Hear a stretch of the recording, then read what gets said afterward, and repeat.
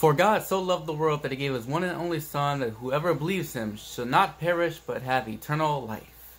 A verse that everyone knows. Your grandmother, your mother, your father, maybe even your dog or cat even know this verse. Almost everybody probably knows if you're a Christian. Probably the first verse that you ever memorized if you memorize any of them. Such a popular verse. You see it all the time, but what does that verse mean? You, you see it everywhere. I mean, and almost everyone knows it by heart at this point. What does it mean that God so loved the world? What is this one and only Son? What is this everlasting life? What is this world? Let's answer that question, shall we? So let's just break this verse down one by one. For God so loved the world. So what is this world? Is we talking about the actual ground itself? Are we talking about the dirt outside right now? Is that the earth or the world that God is talking about? No. Or John, since it's written in John. No, that's not what he means. The world is people.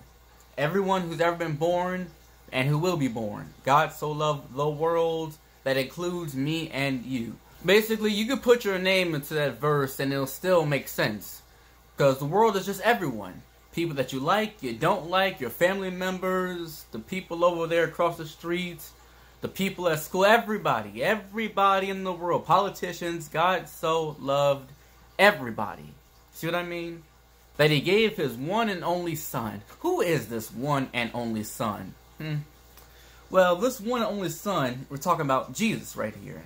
What does it mean he gave his one only son? As you may know, Jesus did die on the cross, but what was the purpose of that? Why did Jesus die on the cross? And sure, you may say because he got backstabbed and people wanted to kill him. But there's more to it than that. You are correct, but there's more to it than that. What is the what is the meaning behind this death on the cross? Well, in that moment, God has just saved the world from their sins. So we are all sinful people. We all are. We all sin in many different ways. Some may lie, some may indulge in sexual morality. We all sin. We all do. That's we all have sin a part of us. And because of our sin, we cannot be in God's presence. Because God, He is not like sin. And if God really wanted to, He could cut us all loose and just let us go for ourselves in this dark world. Imagine that. Imagine if God never had His hand on this world. Imagine how dark and how chaotic it would really be.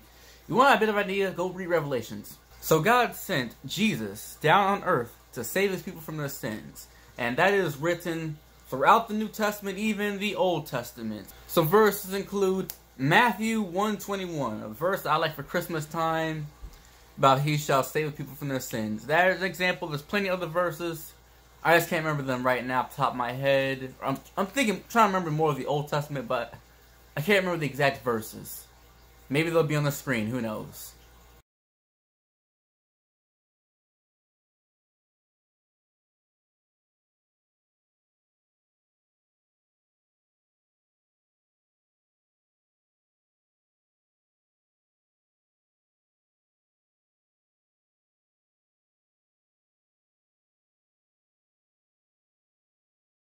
And so, that whoever believes in him should not perish.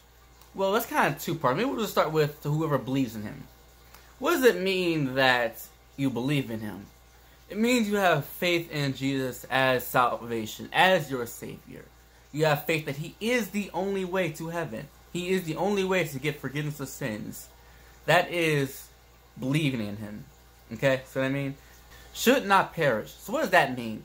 No, I said earlier that God does not allow sin and it's basically the opposite of Him. It's just God does not like it at all.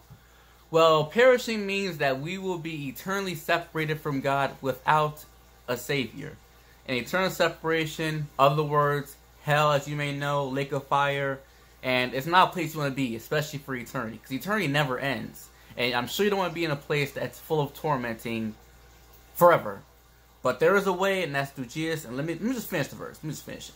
But have eternal life. What is eternal life? What does that part of the verse mean? Eternal life means that we are not going to die, as in we're not going to be eternally separated from God. We will instead be with God forever, for all eternity, living in perfect peace, harmony, no more sin. Ah, I could recite Revelations. What verse is that? Revelations 22? Is it 21? Which one is it?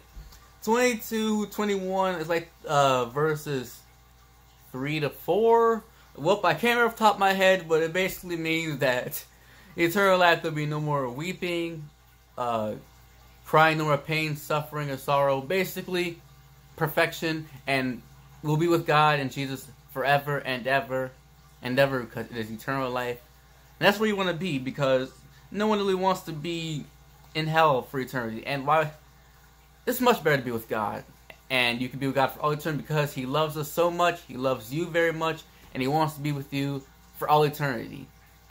And He made a way for us through Jesus because He is our only way to His life because God wants to be with us. He chose to do this. Bear in mind, He really could have just left us on our own to murdering each other and causing chaos and stuff. But instead, He loves us so much, very, very much, that He dies for our own sake. Imagine just dying for some group of people who absolutely hate you and abhor you. That's basically what we are without God. We hate Him, abhor Him, rebel against Him. And God sees that, but He still loves us. He loves us so much He would die for us. It tells you a lot about God, doesn't it? And He really wants to be with you. He wants to be reconciled with you. That's that's kind of how I looked at the whole Bible itself. It's basically a book of reconciliation, if that's a word. It's basically a book of God trying to reconcile Himself with mankind, and it just starts from the beginning. With Genesis, you see the fall of man and ever since the fall, God has always seeked out reconciliation with mankind. And He has made it through Jesus. And it's a free gift. Accept Him. Because it is the only way to have everlasting life and to be with God forever. So that is John 3.16. Hope it made sense. Hope you enjoyed it. Leave a like if it made sense and helped you. Thanks for watching, and I will see you next time. Bye.